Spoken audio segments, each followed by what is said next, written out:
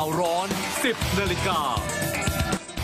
พาณิชย์หารือภาครัฐ และเอกชนร่วมกันทำแผนขับเคลื่อนเศรษฐกิจจังหวัดน่าน เชื่อมโยงการจำหน่ายสินค้าและบริการเข้ากับการท่องเที่ยว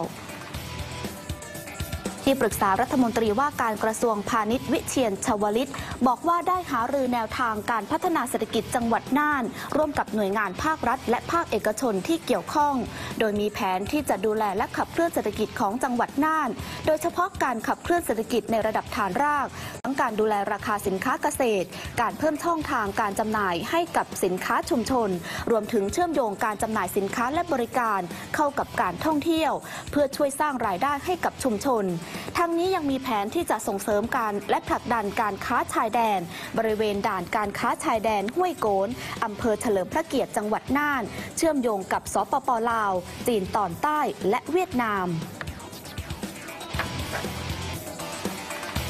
ท่านกำลังรับชมเนชั่นทีวีช่อง 22 ค่ะ และสามารถติดตามข่าวสารเพิ่มเติมได้ทางเว็บไซต์ nationtv.tv ค่ะ